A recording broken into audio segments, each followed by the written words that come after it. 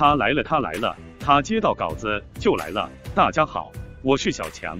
歌手邓紫棋，G E M 拥有惊人铁肺、高亢嘹亮的歌声。二零零八年出道，至今累积超高人气。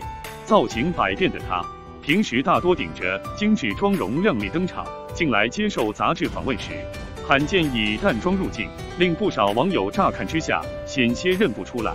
她本人也幽默笑说：“我是不是以后都不用化妆了？”邓紫棋难得淡妆。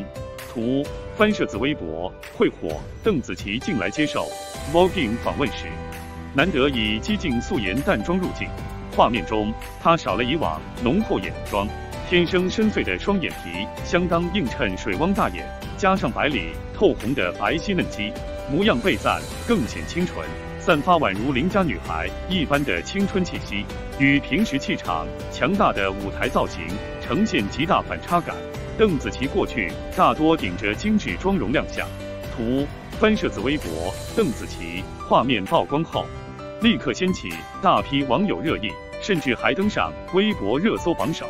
不少人乍看之下险些认不出来，纷纷留言惊呼：“眼妆换了，整个人都不一样了，好看，差点没认出来；好清秀，一瞬间还没反应过来，真没认出来。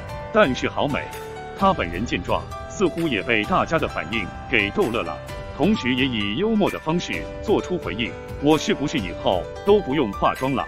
And，他走了，他走了。右下角点个赞，再走啊，老板。